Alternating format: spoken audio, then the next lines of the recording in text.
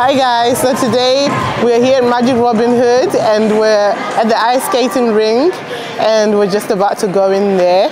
I'm so excited, but at the same time I'm a little rough. I, I know how to ice skate, but I'm a little bit rough, but I'm really excited. Cindy, are you excited? Yeah. Yes, okay then. Stop. See ya.